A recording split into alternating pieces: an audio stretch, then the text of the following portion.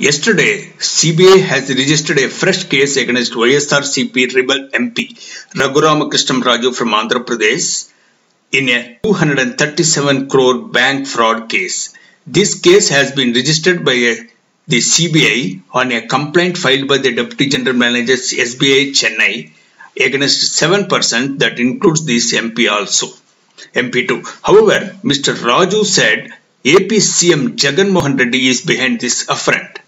Who is Mr. Raghuram Krishnam Raju? He is MP elected from Andhra Pradesh from CM Jagan Mohan Reddy's own party YSRCP. He is a rebel MP now and for, for quite for some time he is up in arms against his own party CM Jagan.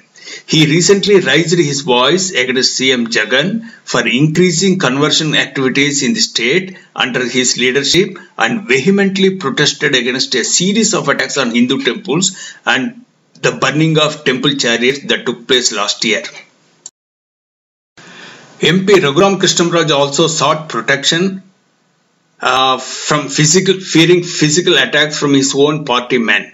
So accordingly, Home Ministry has provided him security last year August. He worked together with BJP, Andhra BJP leaders in protest against the CM's dubious role in the mass Christian conversions in the state and increased attacks on Hindu temples. Now, if you are wondering how the CBI, which is obviously under the PM Modi and the central government's control, can book a case against this popular pro-Hindu MP from Andhra Pradesh.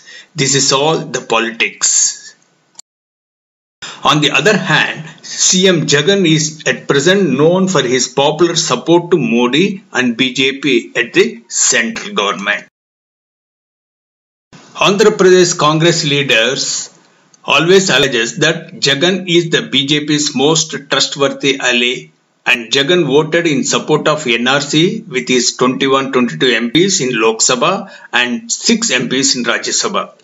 This is how our BJP plays politics with the CM Jagan's friends and foes. This is some opinion. Let us recollect what happened 2019. I would like to take you back. A popular industrialist from Andhra Pradesh and TDP MP Mr. Sujana Chowdary defected to BJP and supported BJP in voting government bills.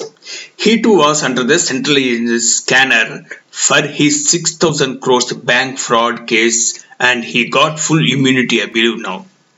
This is real politics now. But there is a catch here. BJP's ideological enemies like Chief Minister Mr. Jagmohan Reddy, Uddhav Thackeray of Maharashtra state and others are fulfilling their ideological dreams by applying intimidating tactics on the central government, BJP ruled government and BJP leaders. On the other hand, unfortunately, BJP is caving into these pressures and betraying their own Hindus.